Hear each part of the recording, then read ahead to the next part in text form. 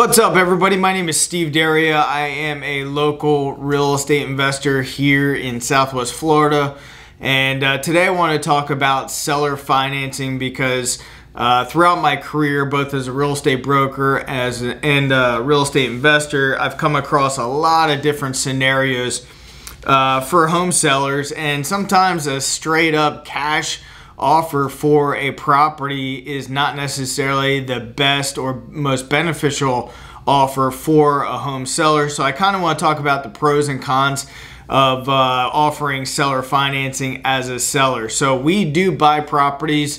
Um, obviously, we pay cash for properties, and the main goal with those are to fix up uh, properties in um, you know that have deferred maintenance. We fix them up and then we resell them to the public. Uh, we bring them to the open market after they've been remodeled and uh, sell them on the open market. Now, the properties that we get in terms of uh, somebody offering seller financing, a lot of times um, we'll run the numbers. We'll run the numbers on the cost to basically fix up the property to get it into rentable condition and then we'll run numbers on what the market rents are less the uh, principal interest taxes insurance maintenance and management fees and take a look at what we would net at the end of the day. Um, so if you're a seller and you're contemplating on selling your property and uh, you are free and clear on your house then uh, this could be an option for you guys to collect, uh, collect residual income. Uh, first thing I want to talk about in terms of cons um, the the negative aspect of offering seller financing is always the chance of the buyer defaulting on the loan, which is um, a really bad situation. So what we do is uh, we're professional real estate investors and we actually hire a uh, loan servicing company. What this loan servicing company does is they actually collect the revenue from the tenant and then they actually pay direct to the bank. And you would technically become the bank in a seller financing transaction. And a lot of times this is just direct deposit right into your bank account um, every single month on the date per the agreement per the actual mortgage and note agreement. Um, so obviously if somebody is in default then you would actually have to go through the judicial process of foreclosure in the state of Florida. It would basically be up to the courts to decide. It can be a lengthy process as well. And um, so you have to really be careful as to who you're selling a property to on seller financing. Um, I would highly encourage you guys to, you know, find out a lot about the investor. Is it a big group? Is it one person? Are they heavily leveraged? They, do they have a lot of other assets that they're heavily leveraged on? Do they have funds in the bank? If, uh, you know, let's say the market turns and rent rates decrease, do they have funds to offset it? Um, how's their credit? How's their business credit? How long they've been in business? Um, these are a lot of things that I would want to know as a potential home seller becoming the bank in a seller financing transaction because the last thing you want to do is go through this process and then have to go through the foreclosure process and then take the property back, which uh, is something that most parties do not want to do or to deal with.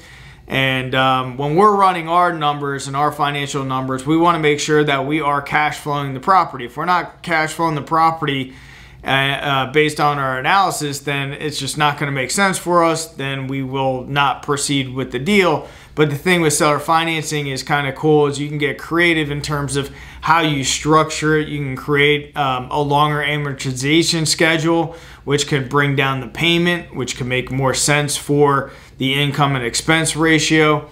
Uh, you can actually change the uh, interest rate as well. You can lower the interest rate. So a lot, there's a lot that could be negotiated in the transaction, especially if you want a higher price for the property, which leads me into the benefits of selling on seller financing is a lot of times people want a really high number for their property. Maybe they put it out on the open market. It's been sitting on the open market for a long period of time. And uh, we see this a lot, especially with properties that expired, meaning they were not successful in selling on the open market. And usually, nine times out of 10, a property that sits on the market for a very long time, it's usually one of two things or a combination of, of both price and condition. And if the condition's really bad, but your price right, then the property likely will sell.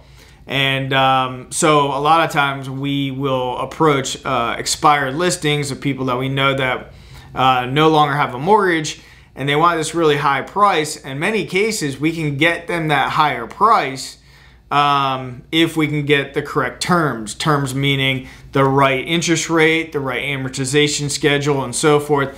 And a lot of times, you know, we're overpaying in a sense. We're overpaying market value. But again, if we look at it in a just straight cash flow analysis, and we know that based on down payment, the amount of money that we got to put into the property to fix it up, and then our uh, cash on cash return, if all those formulas check the boxes, then many cases we can get you a much higher number.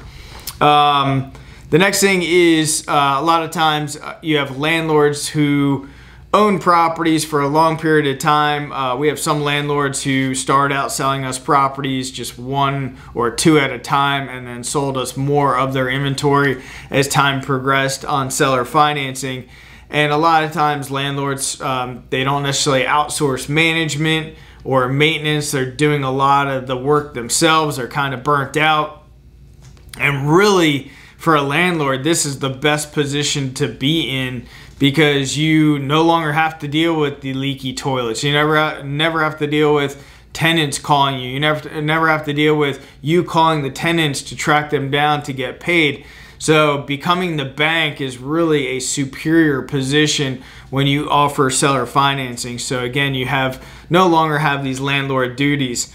Um, another pro is a lot of times we're able to um, put in an interest rate. So you're going to actually collect interest on your money and uh, with a combination of getting that higher price. Sometimes the interest rate is not very high based on the price that we're paying. So we look at it as if we're front loading the interest into the purchase price if that makes sense. So not not all not always is somebody going to get the best interest rate on a seller financing based on the terms that we need in order to safely uh, cash flow an asset. But it is good because you're getting um, you know that interest upfronted on the purchase price. So in any case, your money is making money in some fashion Whereas if you just took a lower cash offer, took that cash, what are you doing with that cash? Are you actually going to put it in the bank and let it sit there and not collect any interest? Or do you actually have a plan for that money? And some people do, and sometimes it makes sense for us to come in with those cash offers. We're happy to do that. But in many cases, the price is much, much lower. Um, another uh, pro about seller financing is it's collateralized against a tangible asset as opposed to say you know buying uh, single stocks. You know when you're buying single stocks you really don't know really who's control excuse me who's controlling those companies you know how their balance sheets look. Are they hev- heavily leveraged?